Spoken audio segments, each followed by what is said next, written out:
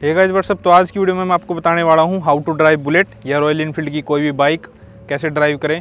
Already मैं इस topic के ऊपर वीडियो बना चुका हूँ, लेकिन बहुत से लोगों ने कमेंट किया कि इसके अंदर विंड नॉइस आ रही है, वगैरह वगैरह क्वालिटी अच्छी नहीं है। तो इस बार मैं कैमरे से शूट कर रहा हूँ, आपको क्वालिटी बिल्कुल अच्छी देखने को मिलेगी। तो सबसे पहले मैं आपको बता दूँ, अगर आपको बुलेट चलाना सीखना है तो उससे पहले आप एटलीस्ट आपको बाइक चलानी आनी चाहिए। आप बाइक पर पहले हाथ अपना साफ़ करें, उसके बाद ही बुलेट पर जाएँ, क्योंकि बहुत हैवी बाइक होती है, लगभग दो सौ इसका वेट होता है। तो अगर ये गिरती वगैरह है तो आपको अच्छा खासा नुकसान हो सकता है। तो अगर आपको बाइक भी चलानी नहीं आती है तो आप हमारी वीडियो देख सकते हैं। आपको लिंक डिस्क्रिप्शन बॉक्स में मिल जाएगा, जाके हमने वहाँ पे बाइक स्टेप बाय स्टेप सिखाई आपको चलानी। ठीक है?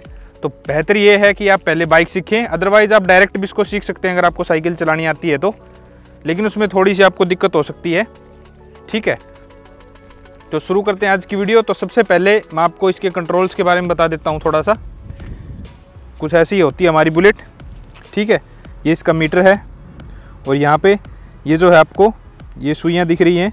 ये बैटरी के प्रेशर के लिए होती है, ये मिडिल में होनी चाहिए। ठीक है, जब भी आप किक मारें, ये मिडिल में हो, ये ज़रूर ध्यान रखें।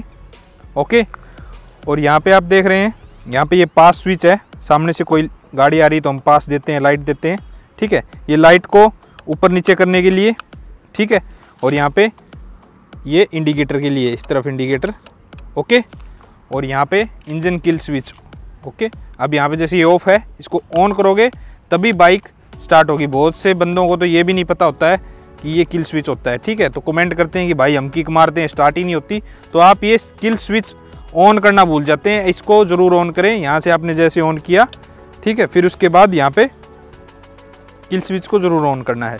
यहाँ पे आप ऑन करें इस टाइप ज़रूर देख लेंगे। न्यूट्रल हो। न्यूट्रल करना बाइक मैं आपको सिखाता हूँ।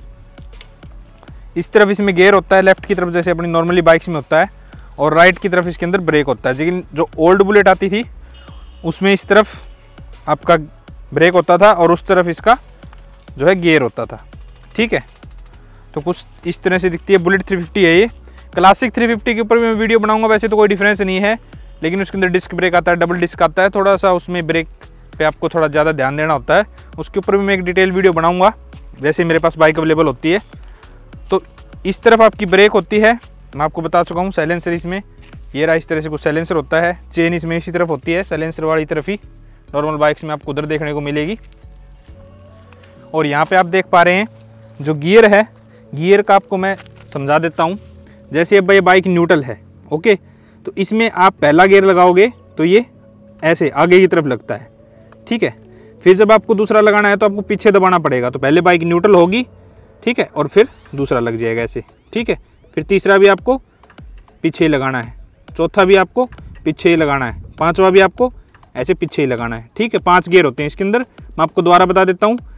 ठीक है? न्यूट्रल करने के लिए पहले फिर मैं आपको बता दूँ, आपने पाँच गेयर लगा दिए। पहले इसको आप नीचे दबाओगे, चौथा, तीसरा आ जाएगा, दूसरा आ जाएगा और फिर से न्यूट्रल आएगा बीच में। और फिर आप न्यूट्रल हो जाए हो जाएगी आपकी बाइक ठीक है? पहला तो नीचे लगता है ना?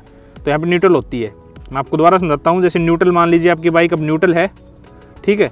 तो आपने पहला गेयर नीचे लगाना, आगे की तरफ़, ये लग गया, ठीक है? फिर आप इसको जब पीछे दबाओगे तो दूसरे से पहले न्यूट्रल होगा, ठीक है बाइक बीच में न्यूट्रल आता है, फिर दूसरा लगता है, ठीक है?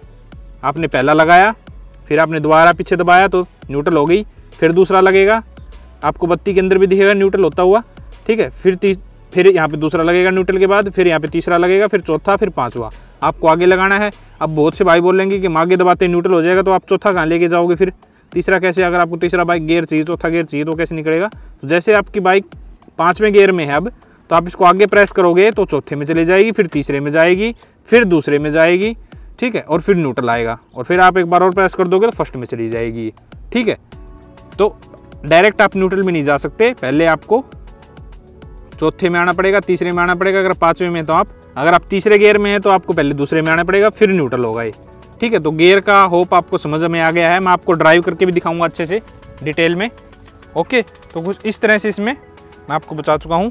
तो ड्राइव करने के लिए बेसिकली इस कल्च को आपने दबाना है, यहाँ से।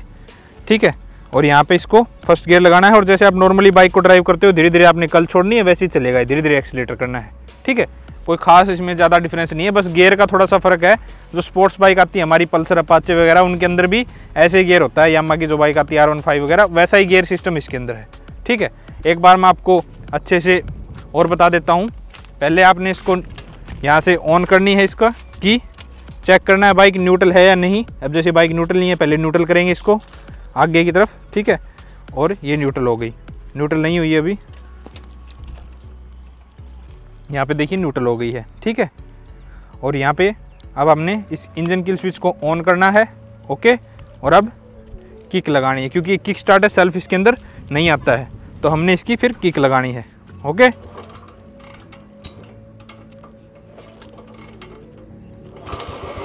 स्टैंड हटा ले।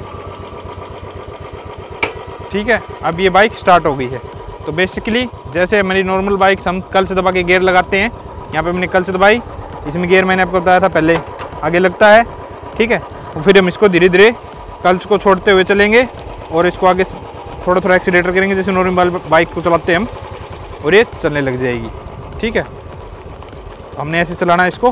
फिर हमने कल से दबा के दूसरा गेयर लगाना है, पीछे की तरफ़, और ये चल जाएगी बाइक ठीक है? कुछ इस तरह से। ईजी है, कोई ज़्यादा दिक्कत वाली आपको बात नहीं आएगी इसके अंदर।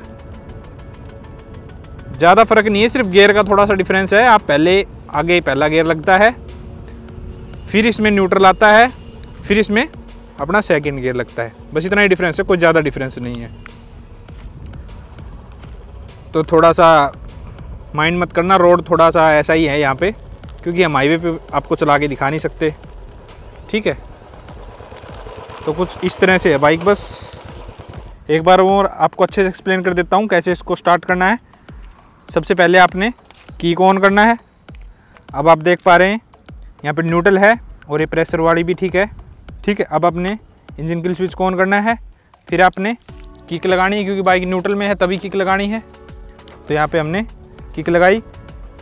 किक लगाते वक्त आपने ध्यान देना है कि रेस ने आपने बिल्कुल नहीं देना, वरना बाइक बैक मारेगी। अगर आप रेस दोगे तो बाइक बैक मारेगी। ठीक है, अब आपने क्लच प्रेस करना है।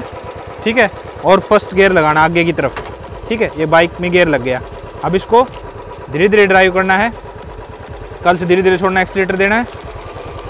ठीक है? अब सेकंड गियर लगाना पीछे। ऐसे। अब न्यूट्रल करेंगे हम एक बार और। न्यूट्रल आगे ही होगा। ठीक है? ब्रेक लगा इसका। अब मैं फिर आपको स्टार्ट करके दिखाता हूँ आगे। फ़र्स्ट गियर लगाओ। आगे की तरफ़ इसमें फ़र्स्ट गियर लगता है। ठीक है? सेकंड गियर पीछे लगता है, फिर third gear, fourth and fifth. इस तरह से गियर लगेंगे। ठीक है? तो होप आपको समझ में आ गया होगा, कैसे गियर लगते हैं इसमें। फिर से मैं आपको बता देता हूँ, यहाँ पे अच्छे से बैठ के एक बार और आपने पहला गियर आगे लगाना है। फिर पीछे दबाओगे तो न्यूट्रल हो जाएगी बाइक। फिर एक बार और दबाओगे तो सेकंड लग जाएगा।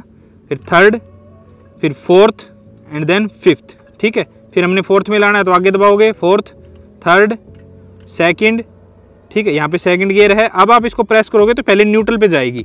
ठीक है? आगे प्रेस करो, फिर ये न्यूट्रल हो गई। ठीक है? अब हमने फ़र्स्ट गियर पे ले जानी है तो फिर इसको आगे प्रेस करना पड़ेगा। ठीक है? ऐसे आगे प्रेस करने से फ़र्स्ट पे चली जाएगी। तो यही है नॉर्मली बाइक। बाकी तो आपने इसको नॉर्मली बाइक की तरह ही ड्राइव करना है। इस तरह से बुलेट चलता है। अगर आपको फिर भी समझ में नहीं आया है तो मैंने एक और वीडियो बना रखी है, आप उसमें जाके देख सकते हैं हाउ टू ड्राइव बुलेट की। ठीक है, उसके अंदर आपको और अच्छे से समझ में आ जाएगा कि बुलेट कैसे ड्राइव होती है। तो अगर आपको वीडियो अच्छी लगी है तो वीडियो को लाइक करें और चैनल को सब्सक्राइब ज़रूर करें।